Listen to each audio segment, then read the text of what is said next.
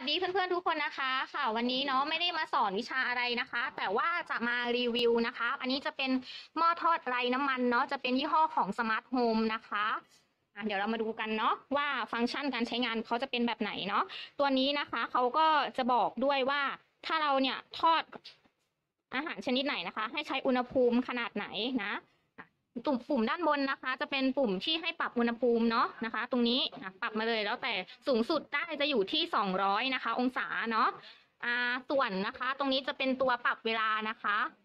ตรงนี้ค่ะ ปรับเวลาเราก็ปรับไปเลยนะคะ สูงสุดได้ที่ 30 นาทีนะ เดี๋ยวมาดูข้างในกันนะคะะข้างในลักษณะจะเป็นแบบนี้นะคะ อันนี้คือใช้งานมาค่อนข้างหลายครั้งแล้วนะคะ ก็มันจะมีตะแกรงให้แบบนี้จริง ๆอะมันจะมีไอ้ที่ตัวนุ่มๆอะค่ะ อยู่ตรงนี้แต่อันเนี้ยมันดุดหายค่อนข้างง่ายนะคะ ข้อเสียก็คือตรงเนี้ยมันจะลอกค่อนข้างได้ง่ายนะคะ บางทีเนี่ยถ้าเราใช้ทอดอะไรอย่างเงี้ยมันจะมีแบบที่เป็นกระดาษอะค่ะเออรองนะคะ มันก็จะไม่ติดตรงนี้นะคะ อาจจะทำความสะอาดได้ง่ายเนาะแต่ว่านี้ไม่ได้ใช้สภาพมันก็เลยแบบ เป็นแบบนี้นะอันนี้คือข้อเสียเนาะส่วนอันเนี้ยเวลาจับลงนะคะ ให้เราจับมันจะมีที่จับมาให้ให้เราจับลงไป เวลาเราทอดอะไรนะคะ เราก็น้ำมันนะคะ มันจะหยุดเข้าไปข้างใต้แบบนี้นะคะ ส่วนตัวเนี้ยมันทำสามารถทำความสะอาดได้ง่ายเนาะ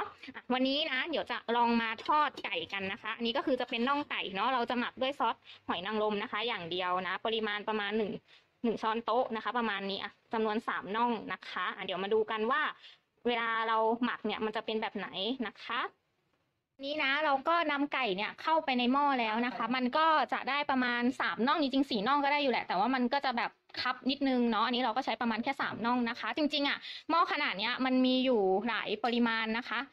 อ่าแบบที่สองลิตรห้าลิตร อย่างเงี้ยนะคะ ถ้าใครเป็นครอบครัวใหญ่อาจจะซื้อที่ลิตรจำนวนเยอะๆก็ได้เนาะราคามันก็จะสูงขึ้นมาอีกนิดนึงนะคะ อันนี้ถ้าจำไม่ผิดรู้สึกจะสองลิตรครึ่งหรือสามลิตรนี่แหละนะคะเออมันจะมีแบบที่เป็นห้าลิตรใหญ่ๆก็มีเนาะลอง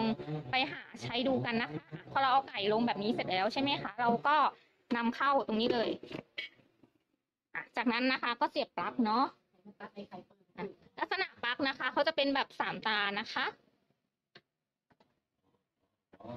อะพอเราเสียบปลั๊กเสร็จแล้วนะคะ เรามาดูตรงนี้อะน่องไก่ใช่ไหมเขาให้คำแนะนำมาว่า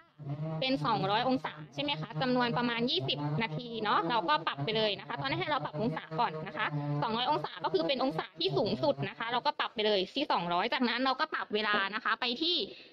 20 นาทีค่ะ ตามคำแนะนำของเขาเนาะหรือว่าใครจะมากจะน้อยกว่านี้ก็ได้นะคะ แล้วแต่แล้วแต่เลยเราสามารถดึงออกมาดูได้นะคะ อย่างสมมติว่า แบบเราอุณหภูมิมันเริ่มเนี่ยเราก็ให้เราดึงแบบนี้มาได้นะคะ มาดูแล้วเราก็เสียบเข้าไปต่อนะคะ ไม่ต้องถอดปลั๊กเนาะเวลาดึงออกมา สามารถดึงออกมาระหว่างที่เครื่องกำลังทำงานได้เลยนะเดี๋ยวพอครบ 20 นาทีเนี่ยเดี๋ยวเรามาดูกันนะคะ ว่าไก่ทอดด้วยหม้ออบลมร้อนไร้น้ำมันของเราเนี่ยจะหน้าตาเหมือนไก่ทอดที่ใช้น้ำมันหรือเปล่านะคะครบ 20 นาทีแล้วนะคะ เดี๋ยวเรามาเปิดดูกันเนาะว่าไก่ของเราเนี่ยหน้าตาได้หรือยังโอ้โหหนังเกือบไหมนะคะ บางทีก็ไหมเนาะอะเดี๋ยวขอพลิกดูนิดนึงนะคะ อืมถ้าเป็นอีกด้านนี้เนี่ยมันยังแบบขาวๆอยู่เนาะเดี๋ยวเราขอต่อสักอีกประมาณ5นาทีถึง10นาทีแล้วกันเนาะมันจะได้แบบเกรียมๆนะคะอันนี้เป็นคนชอบกินแบบเกรียมๆนะอะเราจะเห็นว่าน้ำมันแบบเยิ้มเลยนะคะ อันนี้ขนาดเราไม่ได้ทอดในน้ำมันนะ มันจะมีน้ำมันจากหนังนะคะ แต่ถ้าใครแบบใสายชินก็ถกหนังออกก่อนก็ได้นะคะ แล้วค่อยเอามาทอดนะคะ อะเดี๋ยวขอต่ออีกสักประมาณสิบนาทีเนาะ เดี๋ยวมาดูกันนะคะ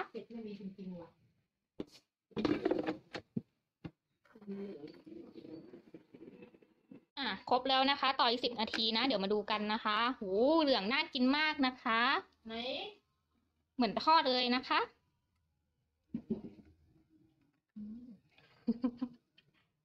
โอเค อะ เดี๋ยวขอไปกินก่อนเนาะอะเดี๋ยวสรุปให้ฟังนะคะ ก็หม้อทอดนี้นะ ซื้อมาในราคาประมาณแปดร้อยกว่าบาทนะคะ เกือบเก้าร้อยนะคะ ก็ฟังก์ชันการใช้งานก็อย่างที่บอกไปเลยนะ สามารถ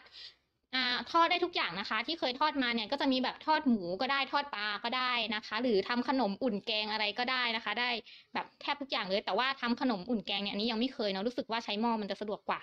แล้วก็สามารถอุ่นอาหารประเภททอดได้ด้วยนะคะ เวลาเราอุ่นอาหารประเภททอดเนี่ยอ่าลักษณะอาหารที่อุ่นเนี่ยมันจะกรอบนะคะ กว่าการที่อุ่นไมโครเวฟเนาะนะมันจะมีความกรอบเหมือนแบบ ใหม่ๆเลยอะค่ะเออดีกว่าแบบเราไปทอดซ้ำนะคะ มันก็เสี่ยงเป็นมะเร็งด้วยแต่ถ้าเรามาเอาอาหารที่ทอดเนี่ยมาอบในหม้ออบลมร้อนเนี่ยมันจะแบบรีดน้ำมันด้วยแล้วก็ความกรอบเนี่ยก็ยังคงอยู่นะคะ ประมาณนี้นะเออถ้าใครสนใจก็ไปหาซื้อได้นะคะ มีทั่วไปเลยตามช้อปปี้ลาซาด้าก็มีหรือว่าตามห้างห้างสรรพสินค้าทั่วไปก็มีเนาะะสำหรับวันนี้นะคะ ก็